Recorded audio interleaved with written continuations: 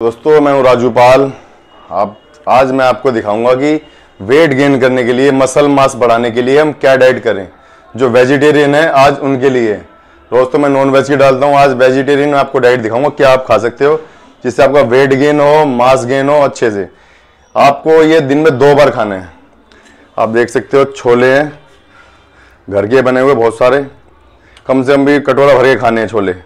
साथ में ले लेने आपको राइस वाइट राइस और थोड़ी सी आपको दही लेनी है। दही कोई भी ले लो।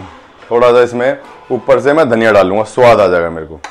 तो ये एक परफेक्ट मील है साइज़ गेन करने के लिए वेट गेन करने के लिए, अच्छी बॉडी बनाने के लिए। तो आप इसको फॉलो करो और वीडियो को शेयर कर देना। थैंक यू तो मैं अपना पहला मील डाल रहा हूँ। राइस है। अब मैं डालूँगा सौ चार सौ ग्राम राइस एक बार में।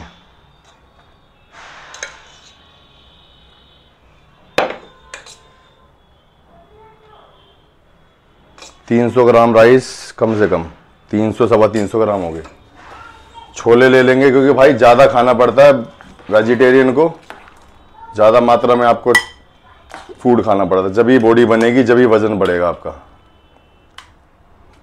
तो आप सोचोगे थोड़ा खा के हो जाए, नहीं हो पाएगा। ज़्यादा क्वांटिटी खानी पड़ेगी।